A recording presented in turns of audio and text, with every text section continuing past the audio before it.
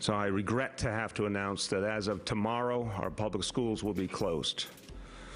In other words, to all parents who are hearing this now, there is no school tomorrow, and we will be suspending our public schools until after the spring vacation. And I'm going to say this very precisely.